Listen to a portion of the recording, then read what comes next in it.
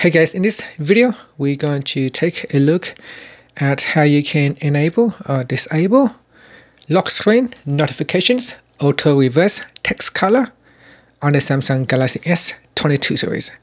First tap on the home button to go back to the home screen. Then swipe down at the top and tap on the settings icon.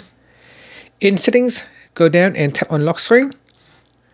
Next, we go down and tap on notifications, tap on the left hand side panel.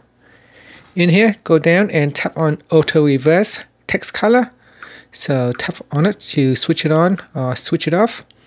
And this is um, when it's off. You can uh, see on my lock screen here if I have a notifications.